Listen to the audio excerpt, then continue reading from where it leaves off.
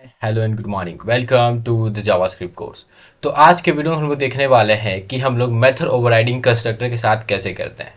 तो आ, उसके लिए मैं क्या करूँगा अपना जो बेसिकली जावास्क्रिप्ट वाला फोल्डर है उसको मैं ओपन करूँगा वी एस कोड के अंदर। यहाँ पे मेरा जो जावास्क्रिप्ट वाला फोल्डर है इसको ओपन करूँगा वी एस कोड के अंदर। तो राइट क्लिक करके समर ऑप्शन करके ओपन विद कोड करके मैं इसको ओपन करूँगा। वी एस कोड के अंदर एंड जो भी हमारा प्रीवियस कोड है उसको मैं क्लियर करूँगा ठीक है? तो पिछले वीडियो में हम लोगों ने यार मेथड ऑफ़ राइटिंग कंस्ट्रक्टर ये दोनों चीज़ों के बारे में बात कर लिया था। लेकिन आज हम लोग देखने वाले कि कंस्ट्रक्टर के अंदर हम लोग मेथड ऑफ़ राइटिंग कैसे करते हैं। अब ये चीज़ को मैं थोड़ा सा थ्योरी इसका थ्योरी समझाने के लिए मैं यहाँ पे नोट पैड ओपन करूँगा। एंड नोट पैड ओपन करने के बाद मैं सिंपली अपना इपिक पेन ओपन करूँगा। और यहाँ पे जो कलर लिया हुआ है, उसी को मैं बेसिकली देखूँ। तो मान लो यार, मेरे पास एक क्लास है, मेरे पास एक क्लास है, जिसका नाम है पर्सन या एम्प्लॉय नाम है, ठीक है? एम्प्लॉय से लेते हैं, जिस, मेरे पास एक क्लास है, जिसका नाम है एम्प्लॉय मेरे पास एक क्लास है, जिसका नाम है एम्प्लॉय और एम्प्लॉय में क्या एम्प्लॉय में मेरे पास एक कंस्ट्रक्टर है। एम्प्लॉय मेरे पास एक कंस्ट्रक्टर है, और उस कंस्ट्रक्टर में क्या ले रहा है? वो कंस्ट्रक्टर बेसिकली हमारा नेम ले रहा है। ठीक है? और नेम लेने के बाद वो बेसिकली कंसोल लॉग क्या कर रहा है? उस नेम को कर रहा है। तो ये हमारा एक बेसिक एम्प्लॉय का क्लास हो गया। अब ये जो एम्प्लॉय क्लास है, ये एक प्रोग्रामर क्लास क्या कर रहा है? इनहेरिट कर रहा है। मैं यहाँ पे एक प्रोग्रामर क्लास बना देता हूँ।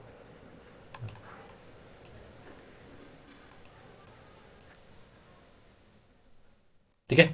तो मेरे पास क्या है? मेरे पास एक प्रोग्रामर नाम का क्लास है। तो मैं यहाँ पे एक क्लास बनाता हूँ प्रोग्रामर नाम का।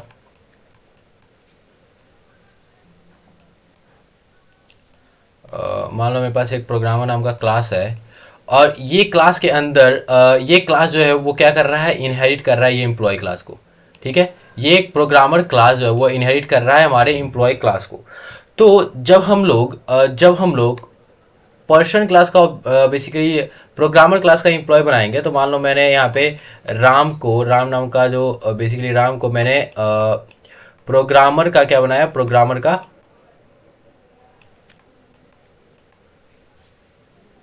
प्रोग्रामर क्लास बेसिकली मैंने क्या करा इसका एक इंस्टेंस uh, बनाया ठीक है? तो क्या होगा? तो यहाँ पे कौन सा कंस्ट्रक्टर कॉल होगा भाई? क्योंकि पर्सन के पास यहाँ पे प्रोग्रामर के पास यहाँ पे कोई भी कंस्ट्रक्टर नहीं है।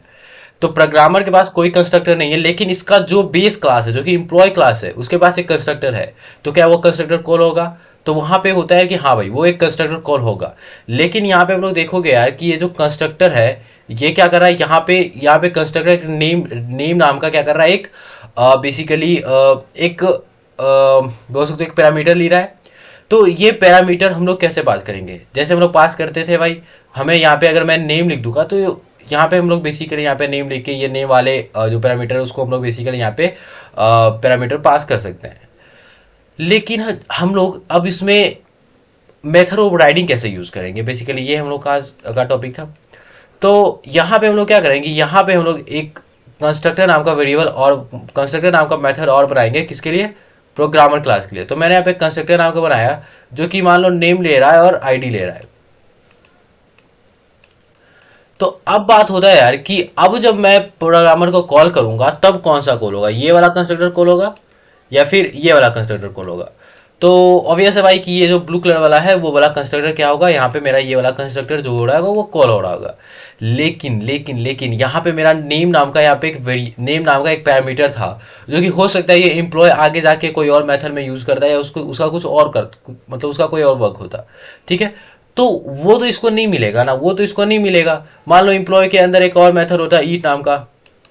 अब ईट क्या था? ईट जो था वो कंसोल लॉक कर रहा था। कि एम्प्लॉय एम्प्लॉय का जो नेम था नेम का यूज़ करके ये क्या कर रहा था? कंसोल लॉक कर रहा था। तो अब यहाँ पे ये चीज़ क्या कर पाएगा? नहीं कर पाएगा, क्योंकि ये ज़रा नेम वाला पैरामीटर नहीं मिला है। ठीक है? तो ये एक स्पेशल केस होता है जब भी हम लोग मेथड ऑफ़ राइडिंग करते हैं कंस्ट्रक्टर के साथ। तो उसको कैसे सॉल्व करना है? हम लोग इसको देखते हैं कोड के अंदर। ठीक है? तो मैं इसको करता हूँ बंद। और यहाँ पे बेसिकली यहाँ पे आ, मेरा जावास्क्रिप्ट का फ़ाइल पहले से ही क्या है ओपन है। तो मैं क्या करूँगा यहाँ पे मैं सबसे पहले एक एम्प्लॉय नाम का बेसिकली क्लास बनाऊँगा। तो मैं लिखता हूँ क्लास एम्प्लॉय क्लास एम्प्लॉय और क्लास एम्प्लॉय के पास एक कंस्ट्रक्टर होगा। और ये कंस्ट्रक्टर क्या हो रहा होगा? कंस्ट्रक्टर नेम ले रहा होगा। ठीक है? और नेम में क्या कर रहा हूँ कि this dot this dot name को बराबर कर दे रहा होगा। इस नेम के। और इतना करने के बाद, मान लो मेरे पास ईट नाम का एक फ़ंक्शन था मतलब एक मेथड था, और ये कंसोलर कर रहा था कि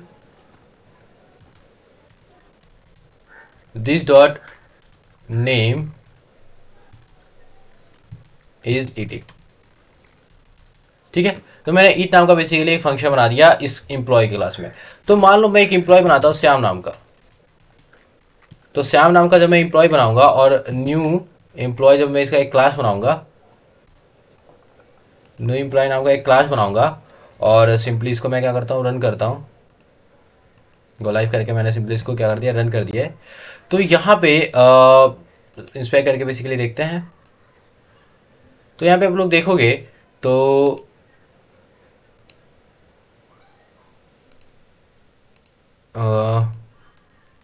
न्यू एम्प्लॉय मैंने बनाया and this name is equal to name कर दिया एंड यहाँ पे कंसोल लॉग में कर देता हूँ कि employee class is build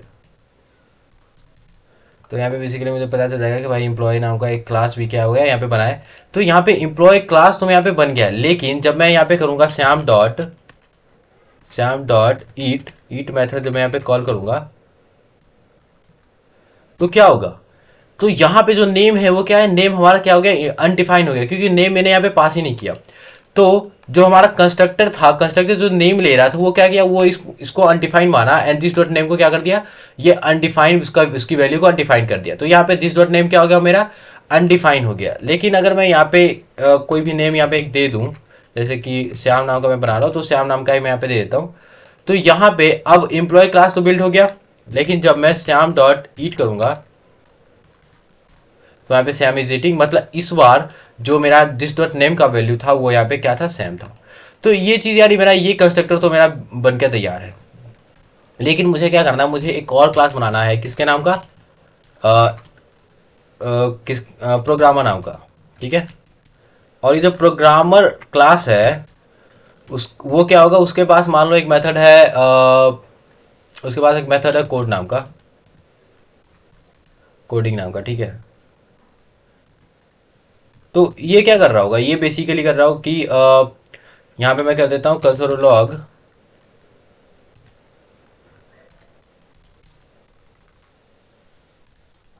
console log this dot name is coding ठीक है? और जो मैंने एम्प्लॉय नाम का क्लास बनाया है, उसको इस बार मैं यहाँ से नेम हटा देता हूँ और एम्प्लॉय को मैं क्या कर देता हूँ प्रोग्रामर इस बार कर देता हूँ, ठीक है? तो मैंने इसको कर दिया प्रोग्रामर तो अब यहाँ पे बताओ, मेरा ये जो कंस्ट्रक्टर है, वो कौन सा कंस्ट्रक्टर कॉल हो रहा हो रहा होगा? ये वाला कंस्ट्रक्टर ये वाला कंस्ट्रक्टर कॉल हो रहा होगा, या फिर इसका कोई अपना ही कंस्ट्रक्टर बन रहा होगा, ठीक है? तो यहाँ पे मैं दिखाता हूँ, कौन सा कॉल हो रहा है? कोई भी कंसिडर कॉल नहीं हो रहा है। यहाँ पे बेसिकली क्या हो रहा है कि आ, मैंने जब प्रोग्रामर नाम का क्लास बनाया यहाँ पे कोई कंस्ट्रक्टर कॉल इसलिए नहीं हो रहा क्योंकि मैंने यहाँ पे एक्सटेंड नहीं करा। तो एक्सटेंड मुझे क्या करना है? एम्प्लॉय को एम्प्लॉय तो एम्प्लॉय को मैंने बेसिकली क्या कर दिया? एक्सटेंड कर लिया है। तो अब मेरा ये वाला कंस्ट्रक्टर क्या हो रहा है? कॉल हो रहा है। ये मेरा क्या हो रहा है? कंस्ट्रक्टर यहाँ पे कॉल हो रहा है। तो अब बोलो यार कि ये डायरेक्टली ये वाला कंस्ट्रक्टर कैसे कॉल कर दे रहा होगा? बेसिकली प्रोग्रामर में तो कोई ऐसा कुछ है ही नहीं जो कि बोल रहा है कि कंस्ट्रक्टर क्या करो कि इम्प्लॉय वाला कंस्ट्रक्टर रन कर दो। तो होता क्या है कि जब हम लोग यहाँ पे बेस ड्राइव क्लास में कोई भी कंस्ट्रक्टर नहीं बनाते हैं तो वहाँ पे एक कंस्ट्रक्टर खुद ब खुद क्या हो जाता है बन जाता है। और यहाँ पे क्या हो रहा है यहाँ पे एक आ, जो आर्ग्यूमेंट है हमारा कुछ इस तरीके से बनता है। और वो सुपर मेथड को कॉल करके मैंने सुपर मेथड आपको बताया था सुपर मेथड को कॉल करके ये आर्ग्यूमेंट पास कर दे रहा होगा। तो जो पहले वाला, जो पहले वाला बिहेवियर था और अभी वाला जो बिहेवियर है, उसमें आप लोग देखोगे कि कोई कुछ भी चेंजेस नहीं हुआ है। तो ये जो ये जो इतना वाला कंस्ट्रक्टर है ना, जो मैंने अभी ये वाला है ये पहले ही मतलब ये वाला होता है कि ये बना देता है, पहले जावास्क्रिप्ट खुद ब खुद बना देता है, ठीक है? ये वाला कंस्ट्रक्टर जो ड्राइव क्लास होता है, उसमें जावास्क्रिप्ट खुद ब खुद बना देता है, ताकि जो हमारा, इसके ड्राइव क्लास में जितना भी पैरामीटर वगैरह दिया जा रहा है, वो यहाँ पे इसको मिल जाए। तो अब मैंने यार प्रोग्रामर वाला कॉल किया। प्रोग्रामर को मैंने एक्सटेंड कर रखा है इम्प्लॉय का। तो इम्प्लॉय क्या है? ईट मेथड को रन कर सकता है। ठीक है? यहाँ पे इम्प्लॉय ईट मेथड को रन कर सकता है। तो मैं अगर यहाँ पे करूँ श्याम डॉट ईट तो यहाँ पे अनडिफाइन इज़ सिटी मतलब मेरा फिर से नेम का वेरिएबल क्या है? बेसिकली अनडिफाइंड है। तो मान लो मैं प्रोग्रामर में क्या करता हूँ? प्रोग्रामर में कुछ दे देता हूँ नेम ठीक है? मान लो मैंने ने, नेम देता हूँ। श्याम। और इस बार अगर मैं श्याम डॉट ईटिंग करूँ, श्याम डॉट ईट करूँ तो यहाँ पे श्याम इज़ ईटिंग आ गया लेकिन अगर मैं यहाँ पे करूँ Shyam dot coding Shyam dot coding तो यहाँ पे क्या होगा? श्याम इज़ कोडिंग मतलब यहाँ पे जो दिस डॉट नेम वाला वेरिएबल था, वो यहाँ पे भी एप्लीकेबल है। अब मैं क्या करता हूँ? अब मैं ओवर करता हूँ भाई। ये चीज़ों तो जावास्क्रिप्ट खुद कर रहा था। अब मैं प्रोग्रामर में जो कंस्ट्रक्टर है, ये मैं खुद बनाता हूँ, ठीक है? तो मैं यहाँ पे एक कंस्ट्रक्टर बनाता हूँ। कंस्ट्रक्टर मान लो नेम ले रहा था और एक एक आईडी ले रहा था, ठीक है? और मैं यहाँ पे कंसिडर कर रहा हूँ कि दिस डॉट नेम या फिर सिर्फ़ नेम करता हूँ नेम हैज़ आईडी और मैं यहाँ पे आईडी को प्रिंट कर देता हूँ। और जब मैं यहाँ पे प्रोग्रामर को कॉल कर रहा था तो श्याम भी दूँगा और इसका आईडी मान लो फाइव सिक्स फाइव देता हूँ। तो यहाँ पे यहाँ पे एक एरर आ रहा होगा यार। ठीक है, एक रेफरेंस एरर आ रहा है, जो कि क्या बोल रहा है? Must call super constructor in drive class before accessing this or returning from drive constructor ठीक है? तो ये बोल रहा है यार कि देखो मस्ट आपको सुपर मेथड को तो कॉल करना ही पड़ेगा, जो आपका बेस क्लास है ना, उस, उसका जो कंस्ट्रक्टर, उसको आपको कॉल करना ही पड़ेगा। ठीक है? तो मैं यहाँ पे क्या करता हूँ, मैं यहाँ पे सुपर मेथड को क्या करता हूँ, कॉल कर देता हूँ। ये बोल, जैसा बोल रहा मैं वैसा कर देता हूँ, सुपर मेथड को कॉल कर देता हूँ। अब मैंने सुपर मेथड को कर दिया कॉल। अब यहाँ पे एरर नहीं आ रहा है, बट यहाँ पे प्रिंट भी हो जा रहा है। और यहाँ पे एक चीज़ और देखोगे, जब मैं सुपर मेथड को हटा देता हूँ तो यहाँ पे बोल रहा है कि ये आपको सुपर मेथड को कॉल तो करना है, आपके बेस क्लास के कंस्ट्रक्टर कॉल तो करना है बट दिस कीवर्ड का यूज़ करने से पहले मतलब मतलब अगर मैं इसको कॉल करूँ, और कॉल करने पे मैं क्या करता हूँ, जो नेम है ना, उसको भेज देता हूँ, वरना वो क्या होगा अनडिफाइन होगा।